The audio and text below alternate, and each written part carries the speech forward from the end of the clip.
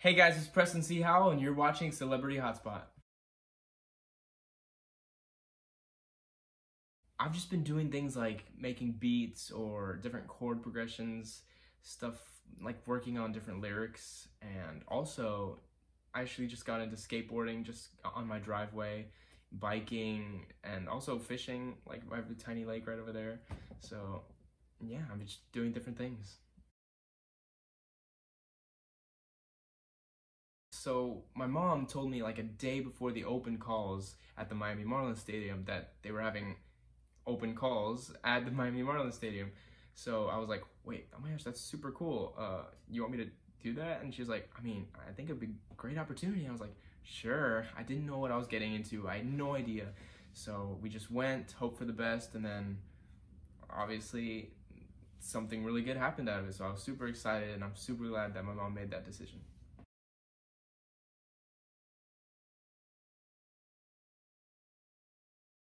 Wild, awesome, and exciting. Just those three just in my head all the time, just being there, being so wide-eyed the whole time, looking around like, I've seen that on TV. I've seen that on TV. It was just awesome. Favorite memory would, I think it would definitely have to be just that first performance, the at the blinds, when I got the four chair turn and I was like shaking. That was just the best thing that's ever happened to me. It was just so, uh, it just felt so good. Best piece of advice that I was given during the show would have to be from Usher and John. They were working together and they talked to me and my partner, Mendeleev, about intimacy. And Usher said it in a super cool way. He said, into me, see. And I was like, bruh. me and Mendeleev looked at each other, minds blown. He, he just explained it in such a good way. He said, you know, that we have to connect with the lyrics that we are given and not just the feel, just but like everything. The lyrics we have to connect in our mind and, you know, express it in a way that'll reach towards the audience. You know? Since I was, you know, pretty young, I would just have to say, just go for it. You never know what's gonna happen. I didn't know what was gonna happen. I was super scared, and you should have seen me right before that those blinds when I walked up. Super nervous, super nervous. So I just say go for it. Like around eighth grade, I was doing a musical and I was just standing there. I had a solo. I looked at, I started singing, and then I just looked down at the audience, and there were like a few people, like obviously I guess like women, just like different type of women, just like like like something like that, and I was like, oh geez, I want to become a singer, and I just like stepped to it. I don't know, like making people feel like that, and just like I don't know, it felt so good. And Demand is all about making you guys, making everyone just feel happy and joyful and making sure that we all know that we are here for a reason and we're all loved by somebody. And the song was written with, you know, a connection to a campaign for mental health and teen suicide.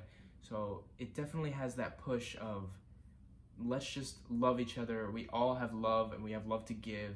So just making people feel closer to each other. My experience with Acapop has definitely been one of the coolest experiences ever because, you know, I never really thought I'd be doing acapella music.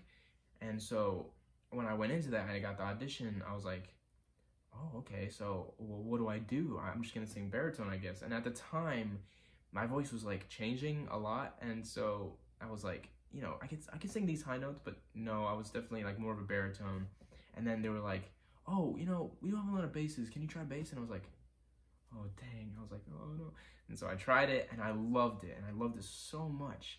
It was just super cool thing doing the doom doom and a lot of people say like oh um you know you should do more than just dooms. I was like no thank you. It's the coolest thing ever being doing that for like a bunch of songs. There's just doom doom and it's just like the funnest thing ever.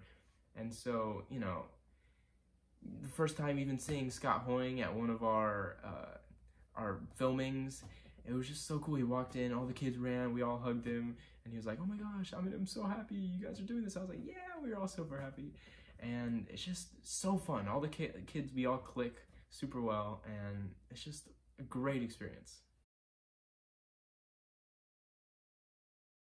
Actually, me and my brother, we we're, we're starting to do you know some stuff. We did some chords earlier, and you know we're trying to fix in some lyrics, and so you could definitely be expecting a few songs from me and my brother.